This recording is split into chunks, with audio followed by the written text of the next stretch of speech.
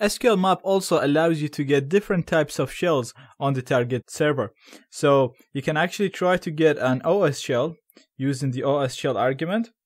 So all you have to do is just run SQL map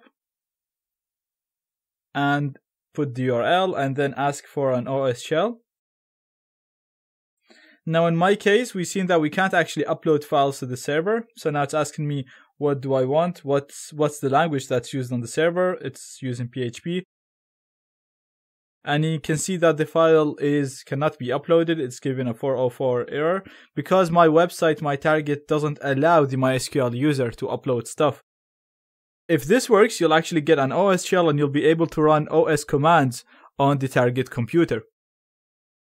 Another cool thing is you can ask for an SQL shell.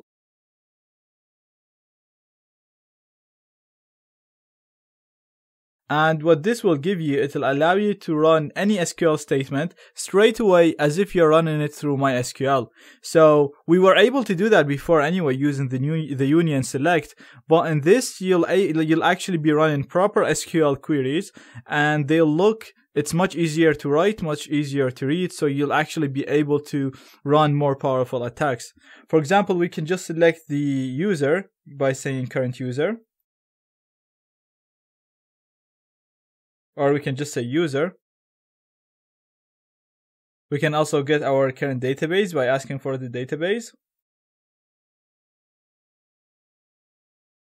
You can look up SQL syntax and then run any SQL command you want. For example, if we wanted to select all the tables like we were doing before, we can just do select table name from information schema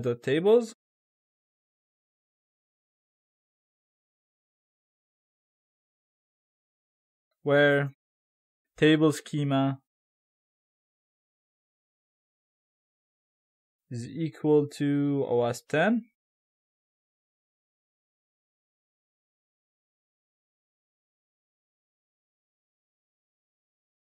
And I probably made a mistake here. I forgot an N. So I'm just gonna add the N here. Hit enter. And I actually need an underscore here. Sorry about that. And as you can see now, we're getting all the tables related to the database called OWASP 10. Again, in here you can run any SQL statement that you want. It's just a nicer and easier way to execute your queries.